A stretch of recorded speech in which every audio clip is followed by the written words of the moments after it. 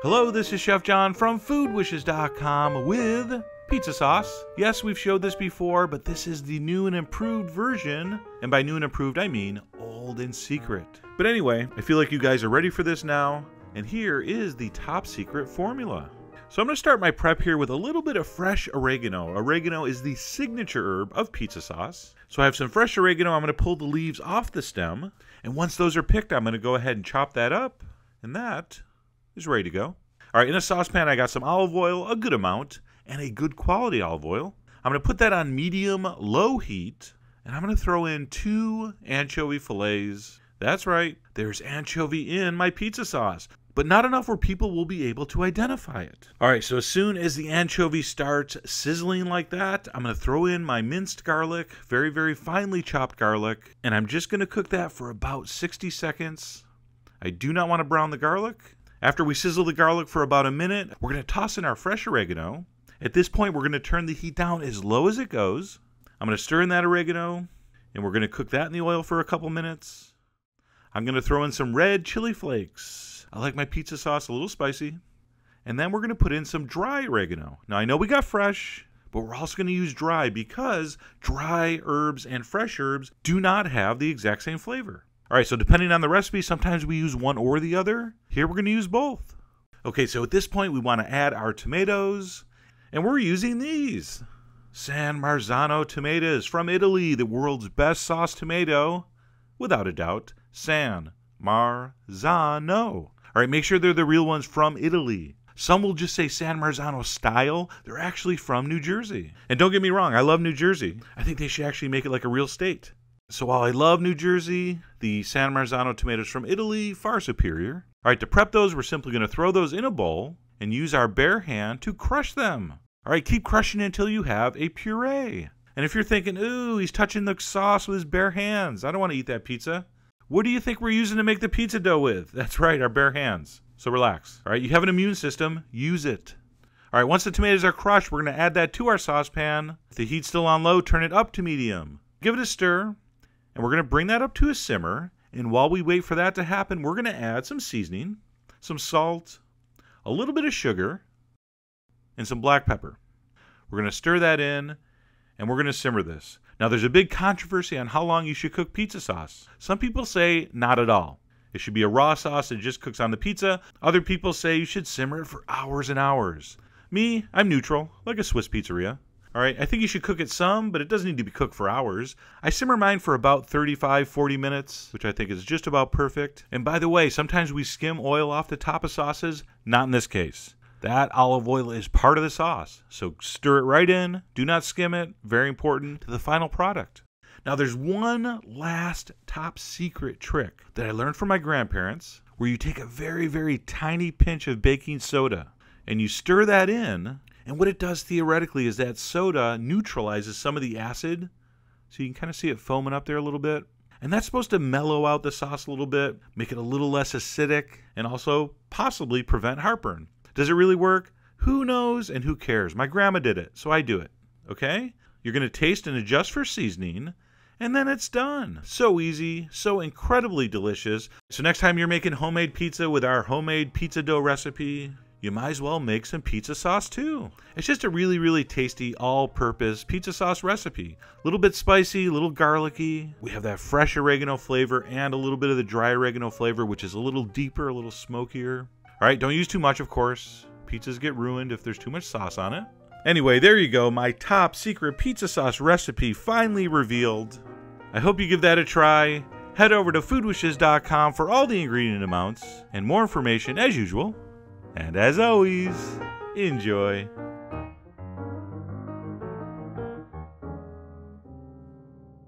Here is the new and improved no knead pizza dough. Here we go. Now one change, don't be scared, but we're going to use the scale for the dry ingredients. Last time we used cups, but weight way more accurate.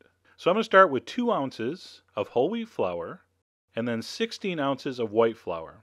Ooh, check it out, my cat just walked by. By the way, don't write these down. All the ingredient amounts will be on the site as usual.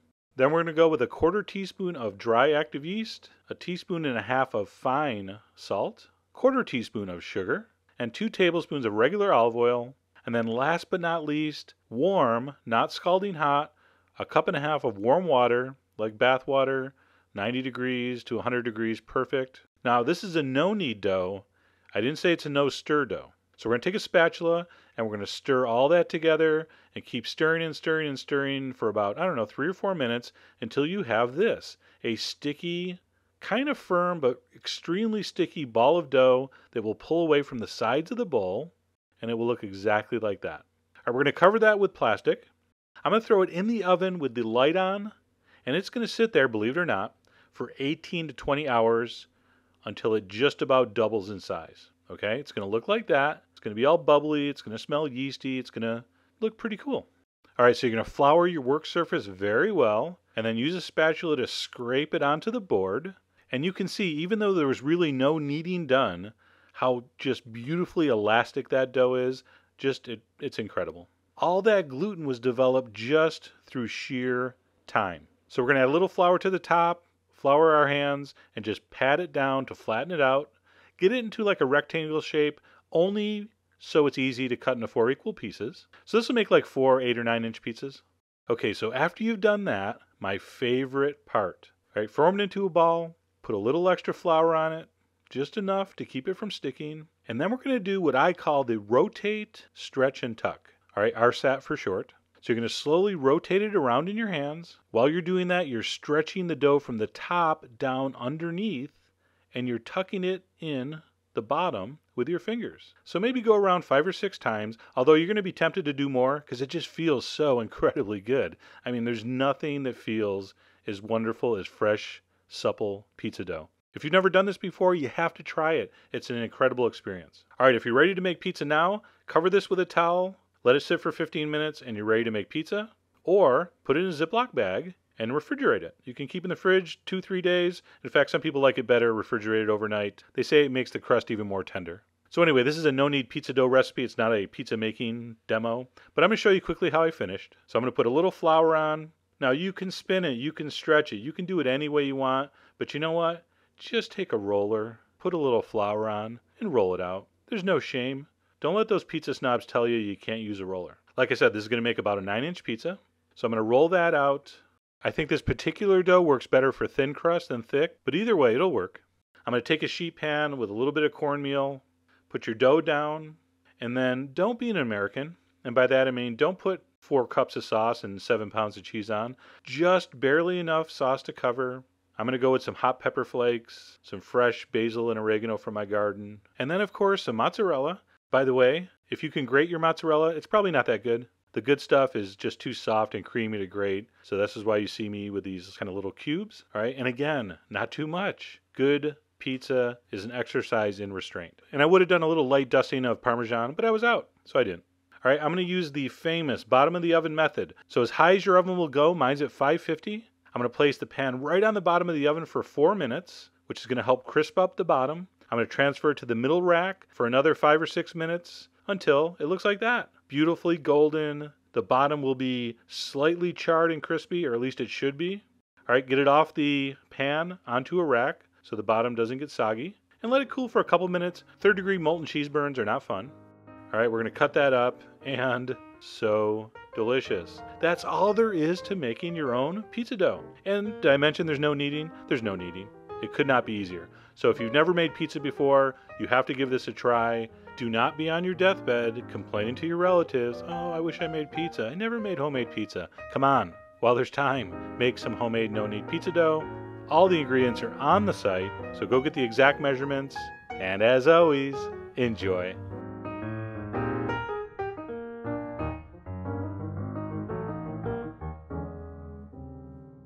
Pourable pizza. That's right, for centuries, chefs have been trying to figure out how to do a pizza dough in liquid form. And while thousands have tried, it's never been successfully done. That is, until today. Well, actually, technically a couple days ago. But the point is, I think I figured it out. So let me go ahead and show you this before I change my mind and trademark it and keep it to myself. Which is probably what I should do, but I bet that's a lot of paperwork. But anyway, let's go ahead and get started by mixing up this game changing dough. And by dough, I actually mean batter. So into a mixing bowl, I'm going to add some flour. And I'm actually using a special kind of flour called double zero, which tends to work very nicely for pizza. And of course, I'll give you a little more info about that on the blog post. But I'm pretty sure this will work almost as well with all purpose. And then to our flour, we'll add one package of dry active yeast. And this time, we're not going to start it in warm water like we usually do, since this mixture is going to be so wet. Plus, every once in a while, I get an email saying you don't have to start modern yeast in water anymore. Come on, Chef John, that's so 20th century. Which I guess is true, but I'm a creature of habit. But anyway, for this, we can go ahead and dump it right in. And then we can continue on with our classic pizza dough ingredients, which of course would include some salt, as well as a little touch of honey or sugar, although I do prefer the honey. I like to give the local bees a little business. We will also add in a little bit of olive oil, and then we'll finish this up by pouring in our warm water. Ideally, I like this to be about 105 degrees. So we will dump that in, and then of course we're going to have to mix this up. So by force of habit, I grab my dough hook, and I headed over to the stand mixer, and I started mixing this up with my dough hook attachment. And it didn't really dawn on me until this video was done, but this mixture really was way too thin for the dough hook. I mean, what am I doing here? It's not really mixing in. So in hindsight, obviously the whisk attachment would have worked much better here. But anyway, with the help of a spatula and a few scrape downs, this eventually came together. And once it did, I let it mix for about five or six minutes, at which point it looked like this. Very, very thin. So I took my spatula and cleaned that up a little. And then, like all pizza doughs, pourable or otherwise, we're going to need to let this rise, so to speak. So I covered that with a plate and just left it right on the counter for an hour and a half. And if everything's gone according to plan, you should be looking at one beautifully bubbly batter. So let me go ahead and grab a ladle so you can get a better look at what we got here. And as much fun as this stuff is to look at, it's even more fun to stir with a ladle. So what we'll do is we'll give that a good stir to knock all the bubbles out. Sort of the same idea as if we were working with traditional pizza dough. And then once that's set, we can go ahead and pre-cook our crust, which I'm going to do in this cast iron pan, which we need to generously grease first with olive oil. And then once our pan has been generously oiled, we can go ahead and pour in our batter. And I really wanted to use a large squeeze bottle for this, but I didn't have one on hand, so all I did was put it in a plastic bag and cut off the corner. And because I'm going for a thin crust here, I found this to be the best method for putting in the batter. I did a few experiments with ladling it and kind of pushing it around, or using a spatula to spread it, but it didn't work as well because you're mixing the batter into the oil in the pan, which I don't want to happen. We want our pourable pizza dough on top of the oil. So this is the method I'm recommending. Although as you can see, I did trap a little bit of the oil. And I was thinking of fixing that with extra batter, but then I remembered I was making a thin crust and we don't want extra batter. So I grabbed a paring knife and used the old poke and swirl and that is it. We've successfully transferred a very thin layer of our pourable pizza dough into this generously oiled pan. And at this point, we can head to the stove where we're going to cook this over medium high heat. So we'll set that down and we'll just wait. And what we're waiting for is bubbles. Lots of bubbles, which will start to form slowly. But before you know it, it's going to look like this. And when I first tested this, I was thinking, man, this is going to be much more like a pizza crumpet. So this does look a little strange, but do not be deterred. And all we want to do here is wait for those bubbles to form, and for this thing to kind of dry out enough where it's safe to flip. Which for me was right about here.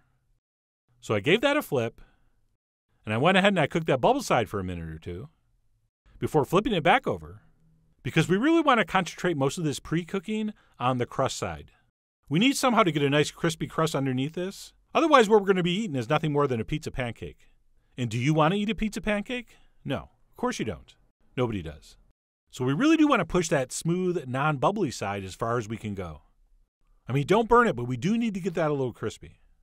So anyway, I kept cooking my crust on medium high, flipping it back and forth until it looked like this. The bubbly side was kind of dry to the touch and golden in color, and the bottom looked like, well, a pizza crust. Now, please keep in mind this is going to go back in the oven with the toppings for a few minutes. So that will actually get a little darker, so please keep that in mind. And then once your pourable pizza crust has been pre-cooked, we can go ahead and finish that with our favorite toppings. So I went ahead and spread over some pizza sauce. And not only do all those little holes look cool, they're also pretty awesome holding your sauce. So I spread over my pizza sauce, and then top that with some fresh mozzarella, which by the way was way too fresh, which is why I'm crumbling it on. This stuff's more for eating than for pizza, but that's what I had, so I used it. I also decided to add some freshly grated Parmigiano Reggiano, the real stuff. What it lacks in cellulose, it more than makes up for in flavor. And then I finished that off with some hipster farm to table artisan pepperoni, which is exactly the same as the regular pepperoni, except costs twice as much. And of course, as with all pizzas, the toppings are up to you. You are the boss of this pizza dough that pours like a sauce. But no matter what you use, don't put on too much. That's the fatal flaw with most bad pizzas. And then once we're happy with our toppings, we can go ahead and finish this in the oven. But don't forget, this is already cooked, except for the toppings. So what I like to do is just put this under the broiler for about three or four minutes. Or if you prefer, you can just do it in a 500 degree oven until everything is heated through and your toppings are cooked. And this is what mine looked like after about four minutes under the broiler. Check it out. Man, that looks good. But looks can be deceiving, so let's eat it to make sure. So I transferred that to a cutting board to slice it up, and unfortunately my pizza wheel is broken, so I had to use the old mezzaluna. And please excuse the hairy forearm shot. That is never a good look. But anyway, I cut that up, and I don't know about you, but to me that looks exactly like a thin crust pepperoni pizza. And above and beyond appearances, when you bite into this thing, I really think you're going to be impressed. I mean, of course, it's not going to be exactly the same. How could it be? But the final product was very, very good and extremely, extremely pizza like. And please keep in mind, I've only done this once, so I'm sure with your help we can continue to advance this technique. But anyway, that's it pourable pizza dough. I'm thinking this stuff would be a huge hit with the kids on the next pizza night. Or simply the next time you want pizza, but you don't want to mess around with a traditional pizza procedure and everything that entails. I mean, I enjoy stretching and spinning and especially rolling as much as the next guy. But I also really love this alternative technique. So I really do hope you give this a try soon Head over to foodwishes.com for all the ingredient amounts and more info as usual. And as always, enjoy.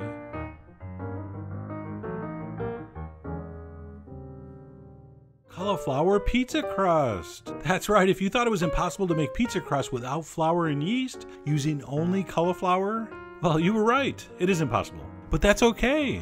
While this is not anything like traditional pizza doughs, it is in its own right a very delicious thing, very nutritious, and as far as appearances goes, produces something that looks remarkably like an awesome pizza. So let me show you how to make this, and to get started, we need to prep our cauliflower. And there it is, one head of cauliflower. This one was a little on the small side, but your standard sized head of cauliflower from the grocery store should work. And to prep, all you're going to do is cut out the core, and then simply break off those cauliflower florets and throw those into the bowl of your food processor. Although I guess we should call those cauliflowerettes.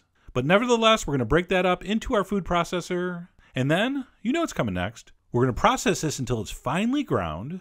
And of course, as physics and tradition would dictate, you want to start by pulsing on and off, and then you want to continue processing that until it's very, very, very finely ground. Oh, and by the way, in the cauliflower pizza crust subculture, they actually refer to this as cauliflower rice, which I guess I can see. But since we are making pizza crust with this, I prefer cauliflower flour.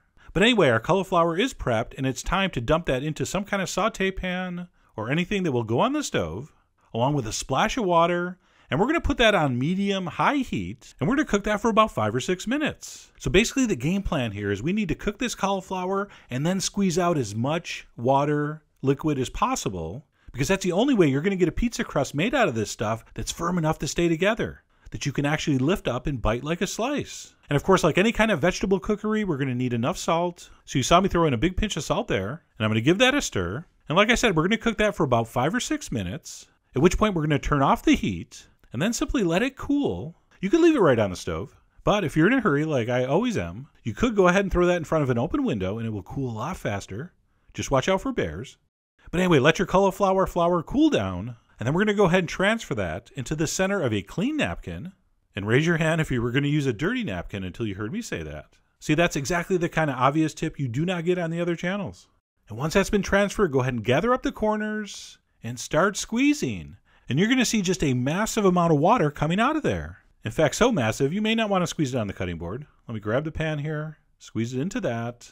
And I mean squeeze with all your might. In fact, if you have little wimpy spaghetti arms, have a friend give you a hand. You know that friend of yours that wears the half shirts? He's perfect for this. But anyway, somehow, some way, squeeze all the water out. Because as I mentioned earlier, this really is the key step. And if you do it right, you should be left with something that looks like this. And I know it doesn't look that great, but it's cauliflower. What'd you expect? So at that point, go ahead and transfer that into a mixing bowl, and we'll add the rest of the ingredients. The first of which would be some cayenne pepper, so a little shake of that.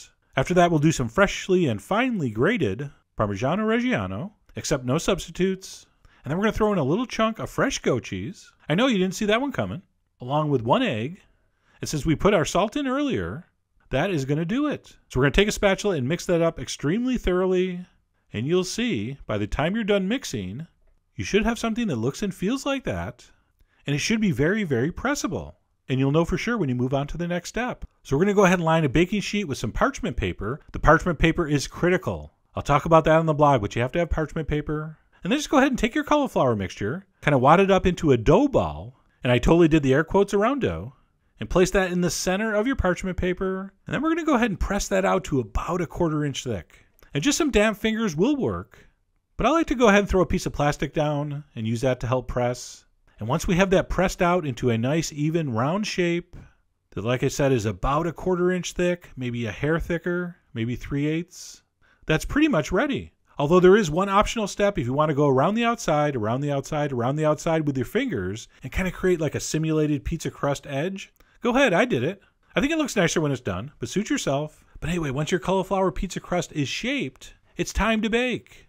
And what we're going to do is we're going to throw that in the center of a preheated 400 degree oven for about 40 minutes or until it looks like this.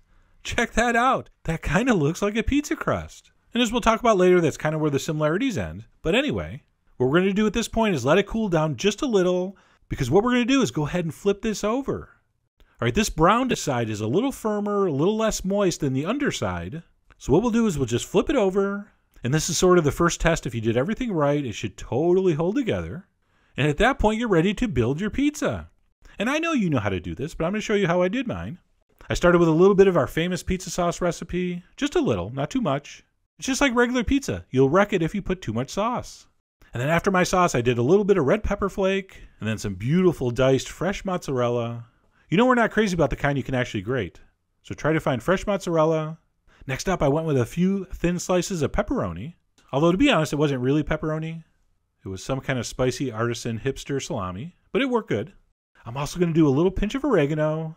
And then last but not least, a light dusting of Parmesan. And then that's ready for the oven, which by the way, I've raised to 450.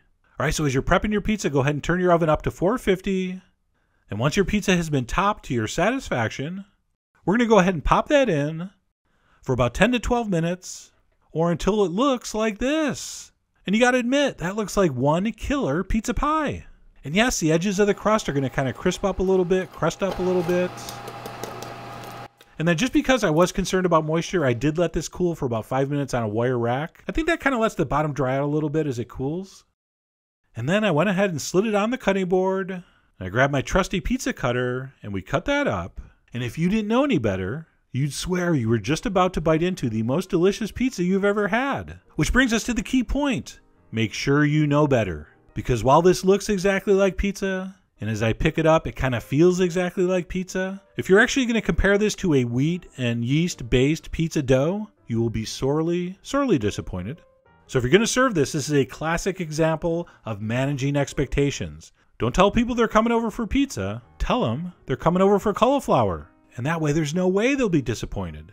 Because if you think you're having cauliflower for dinner and you get this, you're pretty psyched. And of course, I've been talking mostly about texture here. The taste is much closer. I mean, there is definitely a little bit of roasted cauliflower flavor in the background, but it is fairly subtle. And all in all, I think it makes a great and obviously significantly healthier delivery system for pizza toppings. So I really do hope you give this a try. Head over to foodwishes.com for all the ingredient amounts and more info as usual. And as always, enjoy.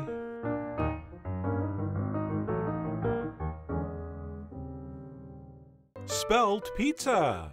That's right, don't let those amazing toppings fool you. This is all about the crust and my attempt to create a non white flour pizza dough that isn't horrible. And while I'm no health nut, I think these days everybody agrees that reducing the amount of highly processed, refined white flour is a good idea. Except, of course, your grandparents. They're like, you kids these days are crazy. Our generation ate it all our lives. And other than all these major illnesses, we turned out just fine.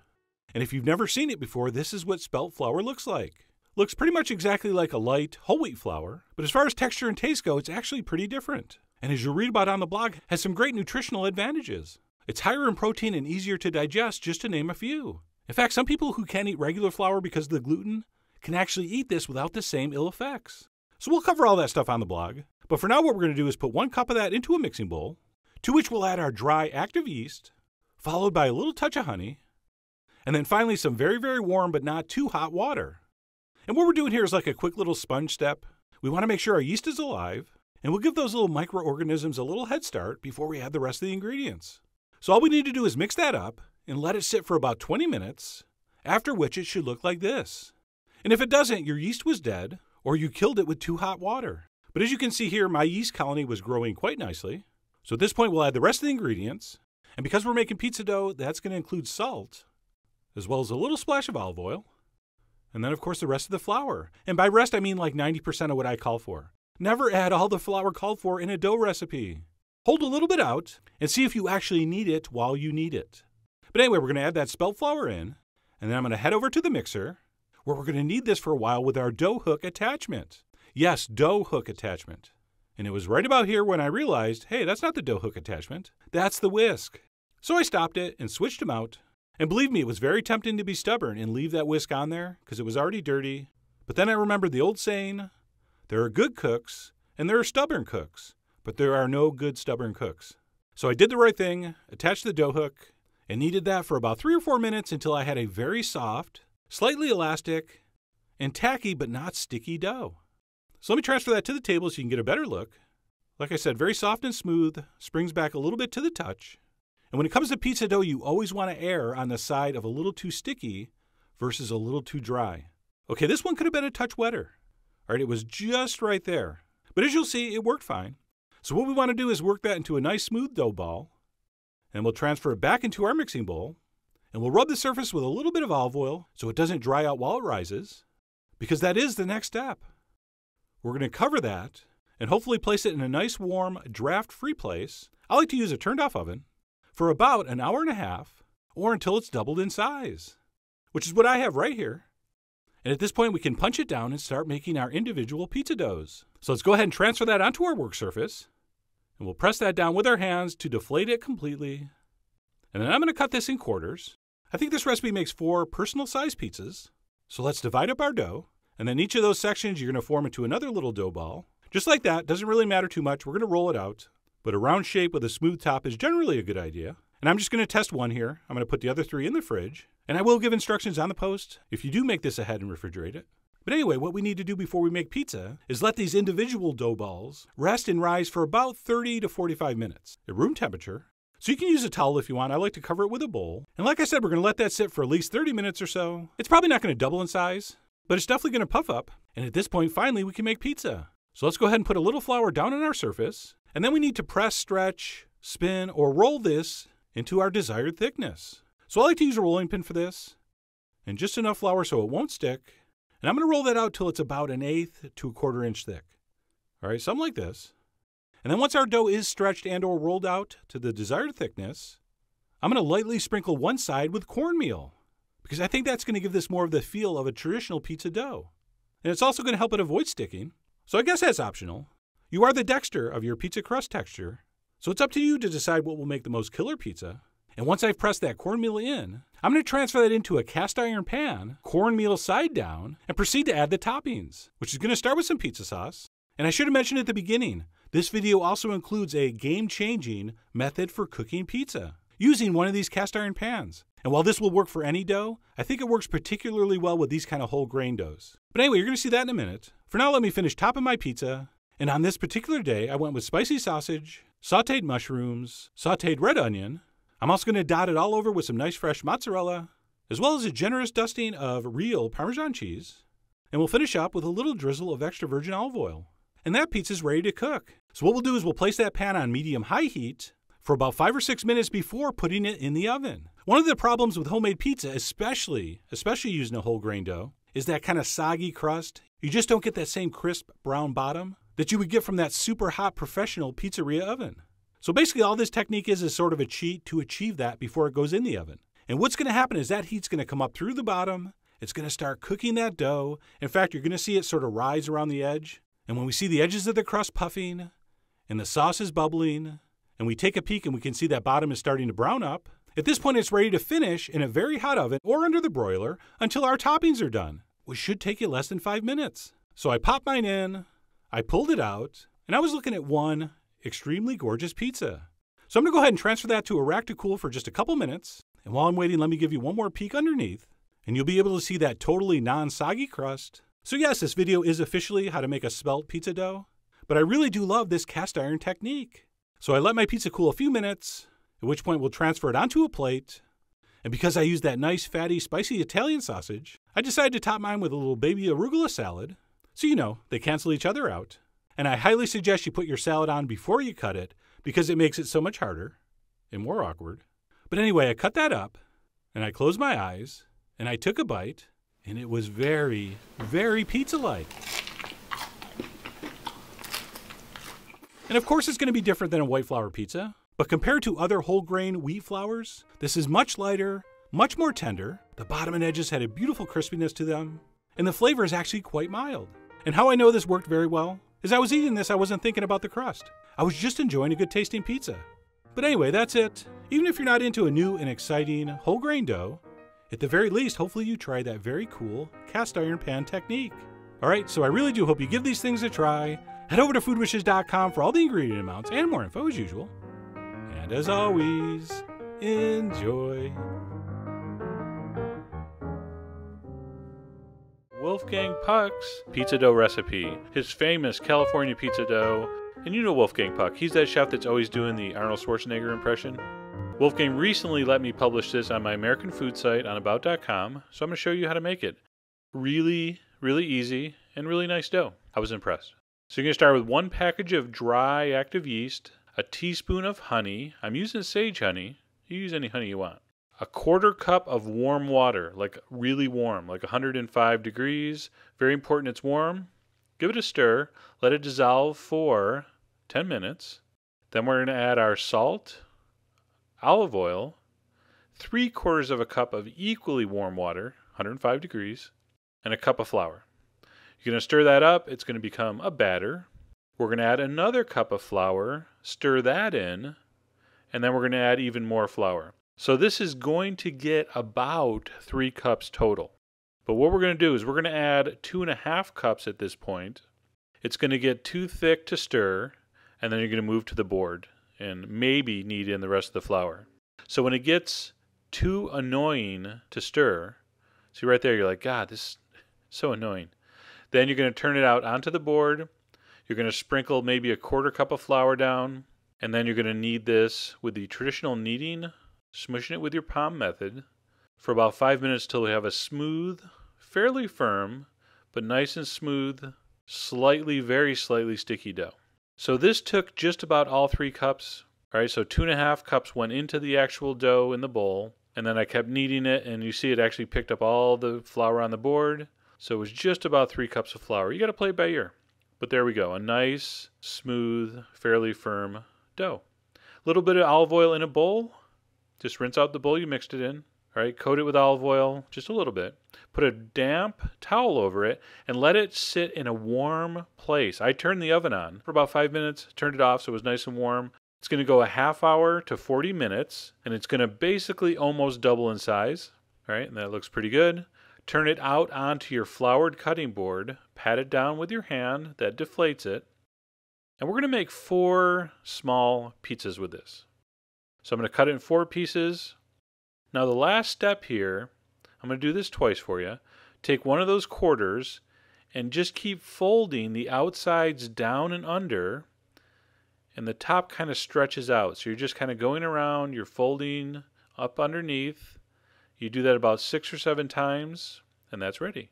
All right, one more time. Take a piece, okay, you're kind of turning it. You can use your fingertips or your palms. You're just kind of stretching it down and under and then tucking it up underneath.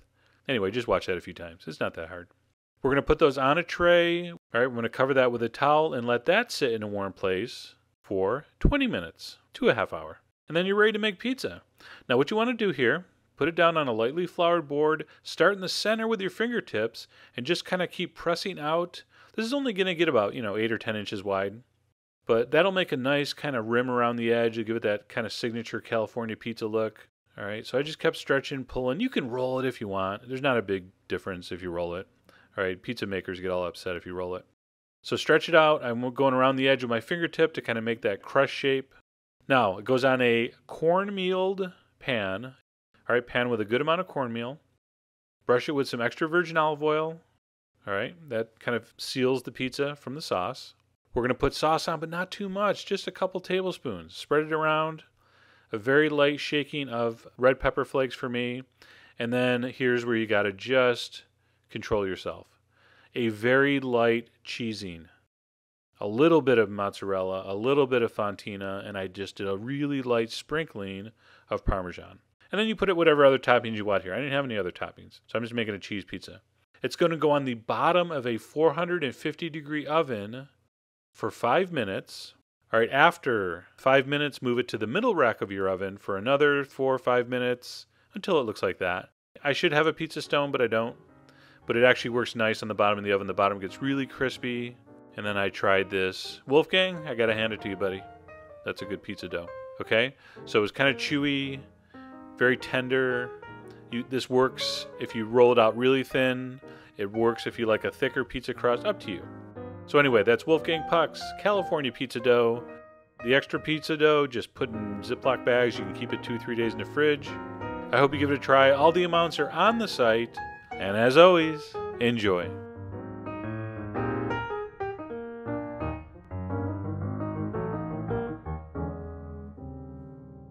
How to reheat old soggy leftover pizza. No, we're not going to use the oven. We're going to use a stovetop method that is so far superior, it's not even funny.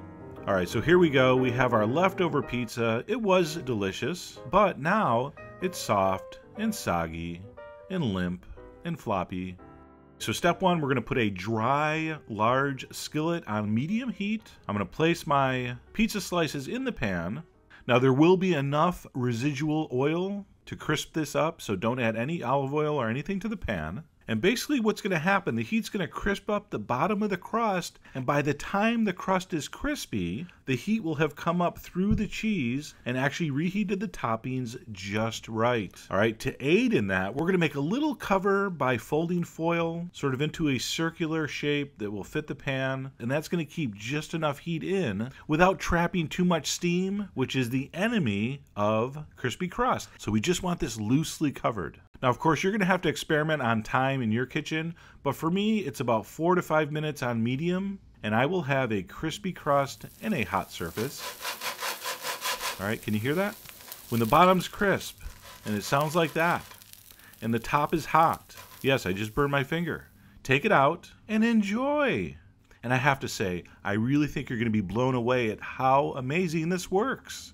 So let me grab a fork here. No, not to eat it with. I'm not a communist. I want to use the fork to show you how amazing this works. Listen to this. Come on. That is better, better than when it was delivered or when you ordered it in the restaurant. Okay? And then to add insult to injury, you have to listen to me bite into it. Oh, yeah. And by the way, this works so well, you don't even have to wait for pizza to be left over. I'll actually do this to pizza that just got delivered, so I have that fresh out of the oven crust effect. Anyway, head over to foodwishes.com. There's no ingredients, but there's a blog post there as usual. And as always, enjoy.